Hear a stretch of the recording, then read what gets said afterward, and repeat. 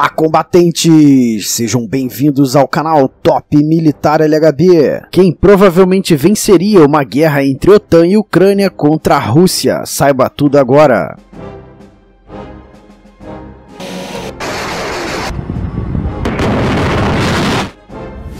E se você curte as forças armadas e policiais do seu país, aliste-se agora em nossas fileiras se inscrevendo no canal Fogo à vontade no like, vamos ao vídeo!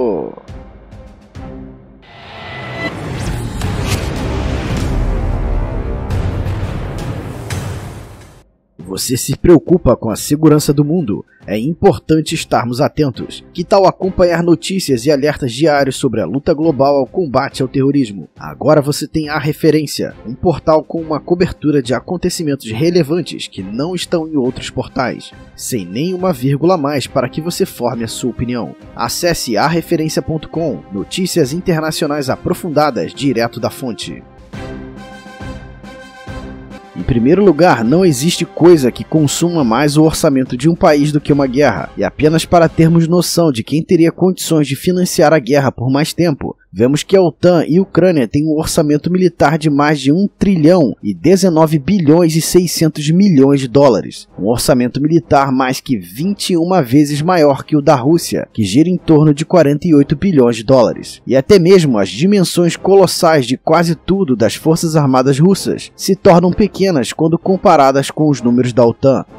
Falando em forças aéreas, já que toda guerra começa pelo ar, e quem fica com o controle aéreo quase sempre vence a guerra, vemos que a OTAN e a Ucrânia têm juntos mais de 23 mil aeronaves, cinco vezes mais que a Rússia. Em número de aviões de caça, que são os mais importantes para o combate aéreo, OTAN e Ucrânia têm juntos 3.950 caças, quatro vezes mais que os 946 caças russos. Helicópteros que são muito importantes para o rápido deslocamento das tropas. A OTAN e a Ucrânia têm juntos quase 9 mil helicópteros, cinco vezes mais que a Rússia. Indo agora para o campo naval, a vantagem da OTAN e Ucrânia também é muito grande sobre a Rússia. E se os lançadores de mísseis hipersônicos russos forem neutralizados, a OTAN provavelmente tomaria conta do mar territorial russo ao fim da guerra impondo se quiser um bloqueio naval, porém sofrendo ataques da grande força de submarinos russa. OTAN e Ucrânia têm juntos 1.704 navios, quase três vezes mais que a Rússia, 17 porta-aviões da OTAN contra apenas um da Rússia. Imagine a superioridade aeronaval da OTAN em uma batalha de 17 porta-aviões contra um. São também 13 porta-helicópteros contra nenhum da Rússia. 134 fragatas OTAN contra apenas 13 russas. E 147 submarinos da OTAN contra 64 russos. Aqui estaria a única opção russa na guerra naval: manter uma guerra de resistência com seus submarinos. Agora falando em forças terrestres e contingentes militares, que são a maior força russa, ainda assim, a OTAN e a Ucrânia têm vantagem, que juntos têm quase 4 milhões de militares na ativa, contra um pouco mais de 1 milhão da Rússia. Em reserva, a OTAN e a Ucrânia têm 3 milhões de soldados, contra 2 milhões de russos.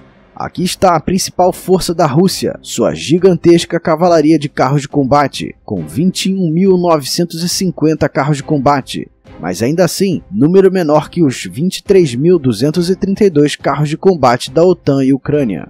Veículos blindados de todos os tipos. A OTAN e a Ucrânia têm mais de 118 mil blindados, mais que o dobro dos pouco mais de 51 mil blindados russos. Lançadores de foguetes. OTAN e a Ucrânia têm mais de 5 mil, contra cerca de 4 mil da Rússia. Total de obuseiros, OTAN e Ucrânia têm juntos mais de 16 mil, contra um pouco mais de 11 mil da Rússia.